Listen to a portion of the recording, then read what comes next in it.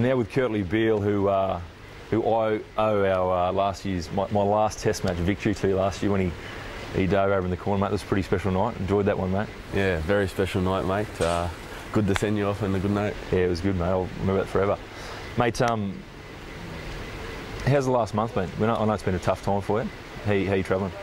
Yeah, travelling okay. Uh, obviously, uh, there was some, some tough times there I, got, I had to get through, and uh, you know they were, they were, they very difficult. Um, obviously, some issues I had to sort out, and um, you know with, with, the support of my close friends and family, um, my teammates, um, you know I, I, got through it, and uh, you know I, I, had to draw the line in the sand, mate, and I, I felt I did that now, and I'm just very grateful for the opportunity um, to be back a part of um, you know this, this great group. You enjoying being back in camp? I know the boys yeah. love having you around. Yeah, it's great to be back, mate. Uh, it's always a really good feeling being a part of um, the Wallaby group. Um, you know, you've got some exceptional men in within the group. Um, you know, some really good leaders, um, people that love playing for their country, and uh, you know, once you get out there, it's, it's, one of the best experiences you'll, you'll, ever experience. Mate, you're looking very good, Nick. Have they been working you pretty hard, have they? Yeah, yeah. I've been uh, obviously staying on top of my diet and uh, obviously, uh, you know, if I did get the opportunity again, uh, I wanted to put myself in the best position to be able to yep. be, um,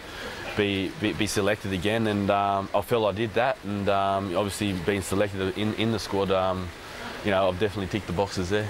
Right, mate. I know that you would have been. I know how much you love playing the game.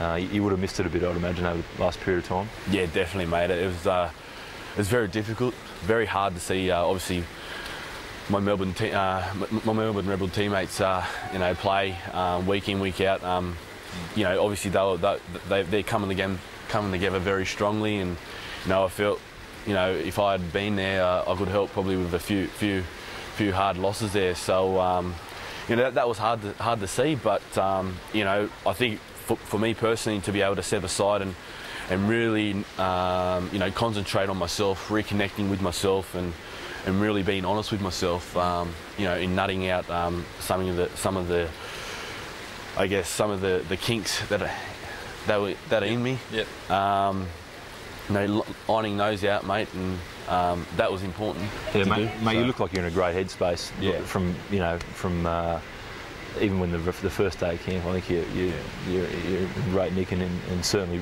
organising things well when you've been involved. So it's great to see you back. What have you made of the Lions so far, mate? Mate, they're, they're a very, very big team. Very big team, backs and forwards. Very physical up front. Uh, and out, out wide, there, there's some nippy backs, you know, Halfpenny. Um, you got Big North there as well, Cuthbertson. Um, so very, very um, talented. Yep. Um, and it's going to be a big challenge for us. So um, looking forward to it.